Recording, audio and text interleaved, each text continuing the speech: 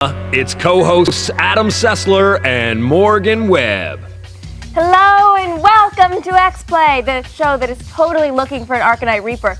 We'll trade you the Lay of Lilies and an intern for it. The Lay of Lilies? That's completely worthless. It allows you to summon a lotus fruit every 15 minutes.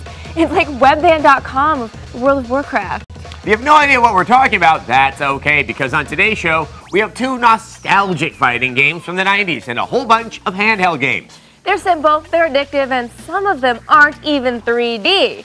So even if you don't know your night elves from your high elves, you'll find something to enjoy on this program. Plus, the icing on the cake, a look at the new Beautiful Joe game, and more footage from Final Fantasy VII Advent Children, the CG movie that proves androgynous men really do have the biggest swords. But we begin with a classic Capcom fighting game from the 90s. Sure, everyone knows Street Fighter and Marvel vs. Capcom, but there's a lesser known Capcom fighting series that's finally getting a second life on the PSP. And it has werewolves. Here's our review of Darkstalkers Chronicle, the Chaos Tower. Love herpes? Mm-hmm. They're why Robin Williams' wife almost divorced him in the 80s. Allegedly. Allegedly, of course. The Darkstalkers looks pretty good on the PSP. I mean, these 2D fighters are capable of enjoying a second life on the handhelds. But when they try to put them back on the consoles, not so much. Still, that didn't stop Capcom from milking a dead horse. Here's Capcom Fighting Evolution for the Xbox. Beating. Beating a dead horse. Did I say milking? Yeah. Two Capcom fighting games, two platforms, and two scores of three out of five. Mm-hmm. In other words, unless you're a collector who loves 2D fighting, don't buy either of these games. Rent them.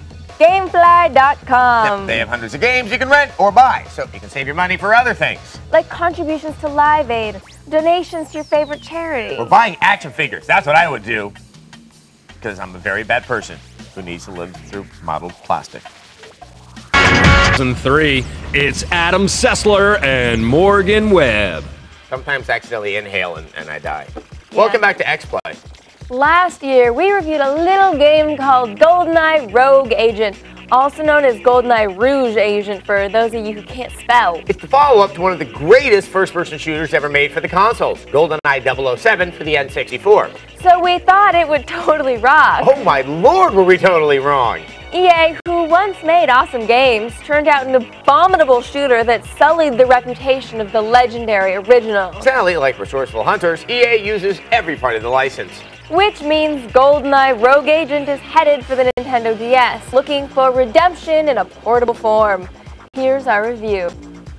And then live to tell about it. If that isn't heroic, I don't know what is. She looks like one of the women from Tao Feng. Well, she has an acting career to fall back on. She hasn't made a movie since Vamp. Oh. As I was saying, Sean Connery's likeness will be starring in the From Russia with Love game, which sounds like a dating sim, but it isn't. So hopefully EA will get this one right, or at least put the line, who's the man now, dog, in the game.